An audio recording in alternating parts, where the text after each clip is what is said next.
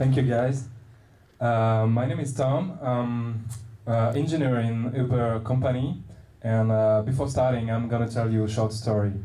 Um, I remember back in my master degree, I was in my marketing of innovation class, and we had to make this product with modeling clay, and we had this brilliant idea, and I decided to, to go further and to introduce it into the market. So now, from the creator of Uber and Uber Eats, we came up with this idea, Uber Umbrella. Yep. Yes, so um, I don't get it. Uber umbrella. How does it work? What is so special about this umbrella? I knew this question would be asked, so me and my team created a short tutorial to, to show you how it works.